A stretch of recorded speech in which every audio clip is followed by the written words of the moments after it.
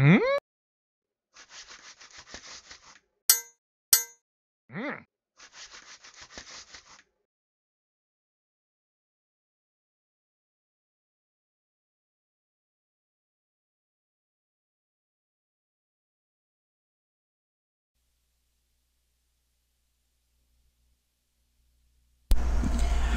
I'd like to talk about the vertical block on the analog scope first.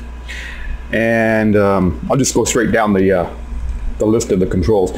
You can see here there's a cursor control. This is really technically not a part of this block, but uh, by pressing it on the Instek, uh, if you anything that you see that has an underline on it means that you press and hold the button for uh, two or three seconds to activate that function. I'm going to leave those off for right now. Uh, the next button is uh, position, and you can see I've got a, uh, a sine wave on the display. It's approximately 2 volts, and with the position knob, I can take that and move it up and down to, uh, to a good reference point, to a measuring point. And in this case, I'm going to take the trace and just have it kiss uh, this line right here. And if I wanted to measure this, I could just go straight up and then kind of guesstimate uh, how far above the center line or above this line uh, the top of that trace is. But uh, it'd be better, and I'm kind of jumping ahead here, to take the, uh, the horizontal position knob and move that over until it is on the center graticule. And what I'll want to do is count up from where I set my the base of my display. So one, two, three, four. And it's approximately 4.1 divisions. I say 4.1 because um, you're allowed some interpolation on, on, the, on scopes. Uh, each one of these divisions right now is worth that half a volt value. So at four divisions at half a volt, we're looking at about two volts. Each one of these subdivisions is worth 0.2 of whatever this scale is. So if we look at uh, this, uh, since I use the bottom of the line here to begin my measurement, the bottom of the trace, I want to use the bottom of the trace up here to end the measurement. So if I'm looking at this, I would say 4.1 divisions, and I would multiply that by the 0.5, so I would come out to approximately uh, 2.1 volts peak to peak. And I'll go ahead and center this back up again uh, to its more or less original position.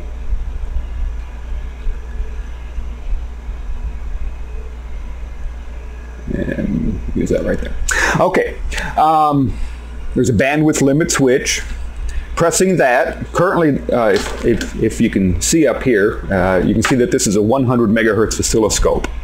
That means that it should produce uh, any, reproduce any signal input into it with, with uh, fidelity up to 100 megahertz. Now, this is there's some caveats to that, and uh, we're going to have to get into those a little bit later.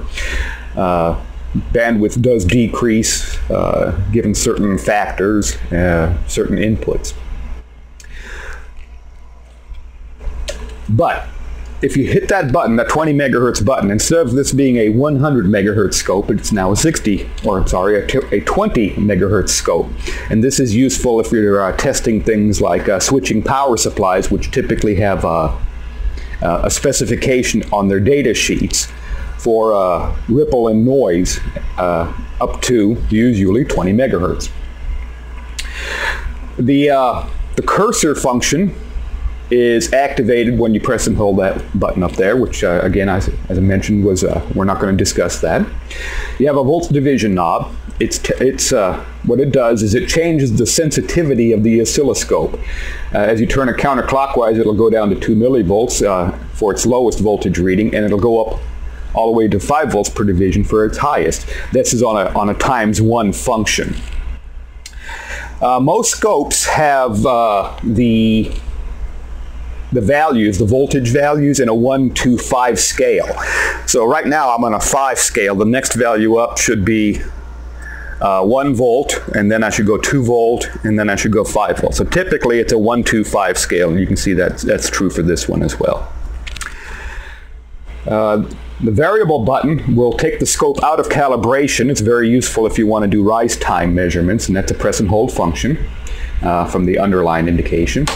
And channel 1 will actually turn channel 1 on and off. And since we're hooked up to it right now, we don't really want to turn that one off. Um, right below that is the, the ground button, and it does a double duty as a probe times 10 switch. When, you're, when you hit that ground button, what you are doing is you're disconnecting the signal that's coming in on your, your, your connector from the internal amplifiers in the oscilloscope. You are not grounding the signal. You never want to ground the, uh, the signal that you're measuring. It's obviously, it's a short circuit. So you, you want to avoid that at all costs. If I pressed and held, held this button, I would get a probe times 10 indication. Since again, I'm using BNC, I want us to keep it on times 1. So returning that signal and coming down to the next function, you'll see an AC-DC button. Currently, we are in AC. So we are measuring 0.5 volts of AC.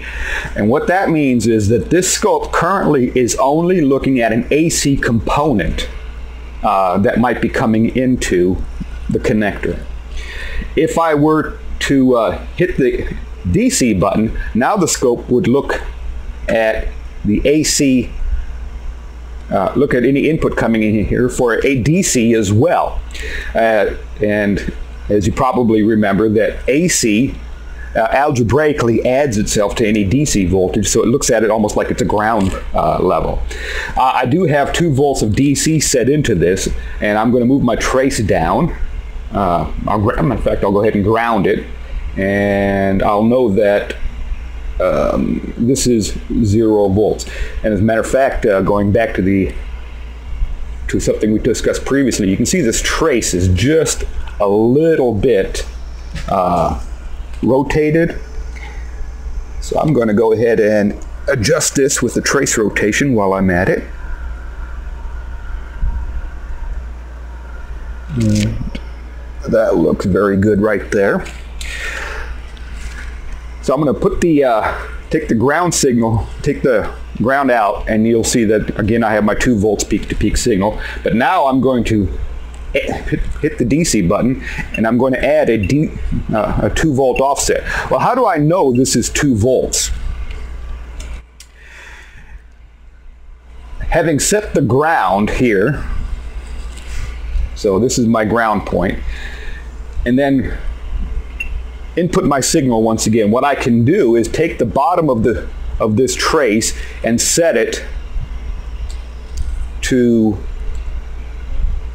the bottom of the,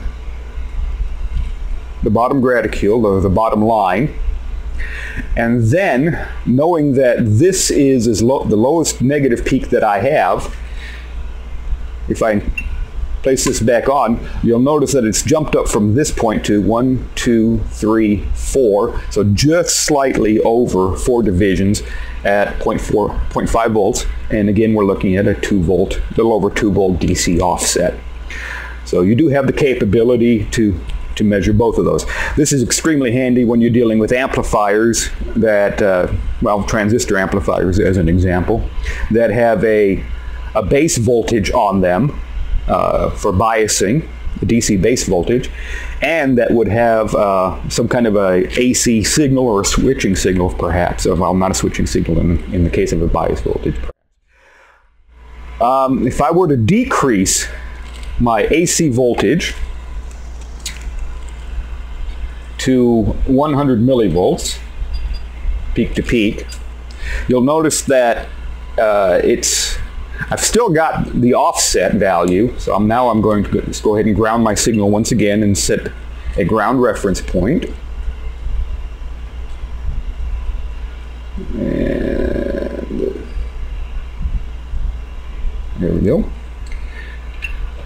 And you can see that the, the, signal still jumped up the same two volts, but now you cannot see that, that very small or relatively small uh, AC component. If you wanted to look at that independently, now you have to go back into the DC function, move the scope display up, and then you can increase the sensitivity and make a measurement on the new value.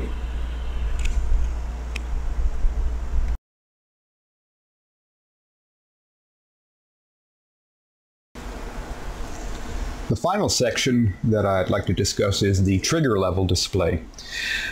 This uh, part of the OSCOPE package determines uh, how your scope will trigger, what it will trigger from, and what it's going to, uh, what kind of triggers it's going to accept.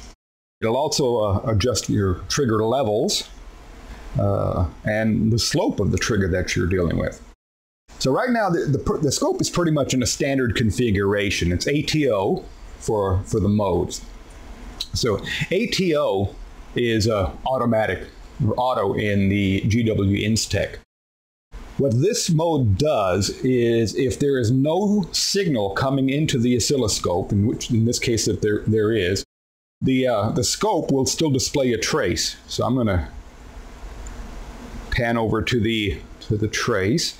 And right now, if I turn the signal off, you'll see still see that there's a, a trace showing on the scope.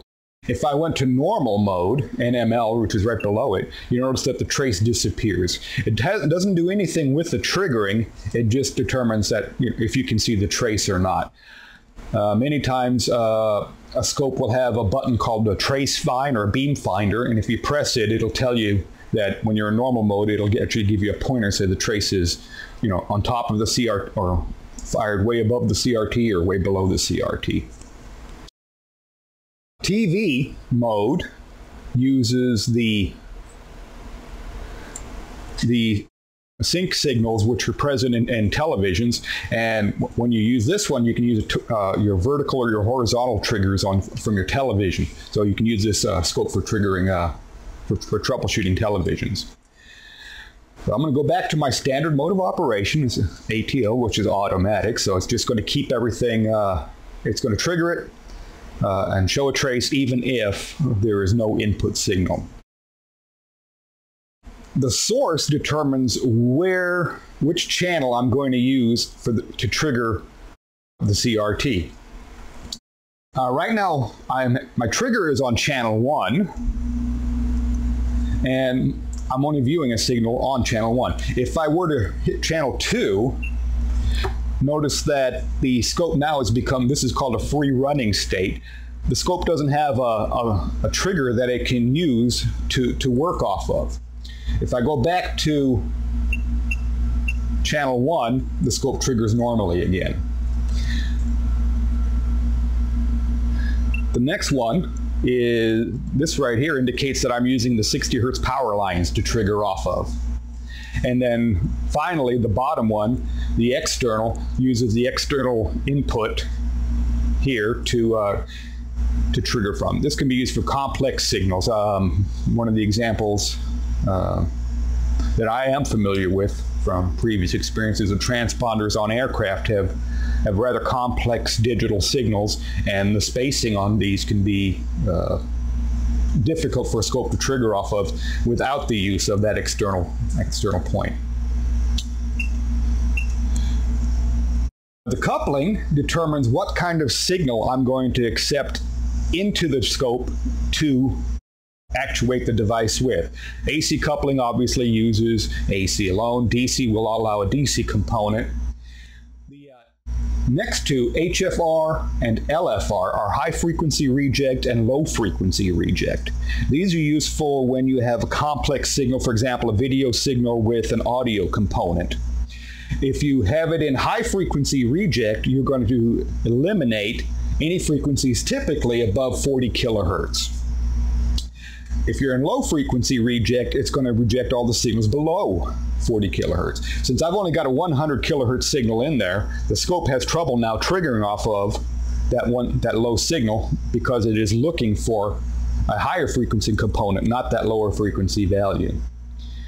But if I go back to high frequency reject, the scope should come back to normal operation and I have a good solid display.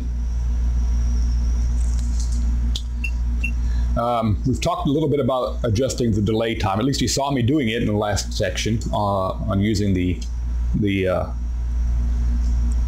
the main alt delay function to see the uh, rise times and the fall times in, of a waveform.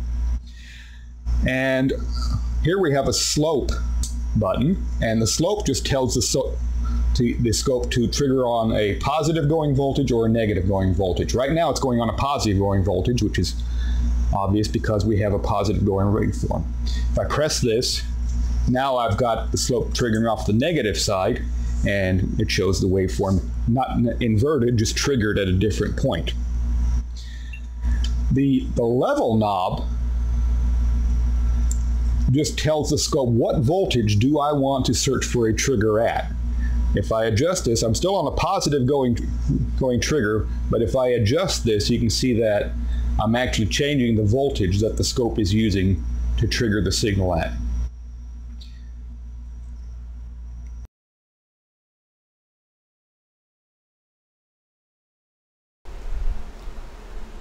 I'm now going to make a measurement on a, a trapezoidal wave or a ramp.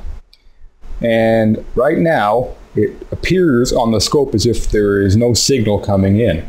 This is because I've got the time base adjusted so far out from the frequency. If I adjusted the time and the amplitude slightly, there we go. If I adjust the time and the amplitude, you can see that there is there was a wave there the entire time. So how would I measure a trapezoidal wave or a ramp? This is the same technique or principle for measuring just about any wave. You pick a starting point and you set it at a reference, adjust it to that reference point. So in this case, I'll just begin right at that uh, that vertical line. I adjusted my trace to it. And I want to look for one complete cycle of the wave. And in this case, it just happens that this one wave fits perfectly into all 10 graticules. So 10 graticules across times the 2 microseconds per division gives me 20 microseconds. So this is a 50 kilohertz wave.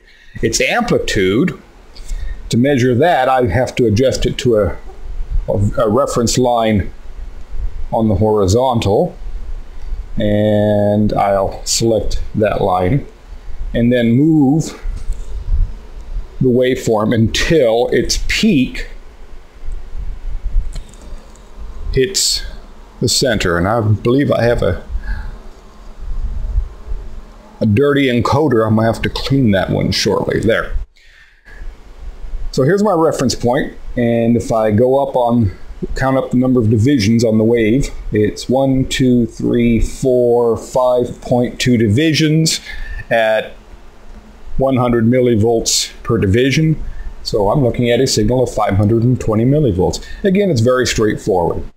In the next videos, I'll show you how to do rise time and fall time measurements on square waves using both the, the analog GOS 6103 and the TDS 1002.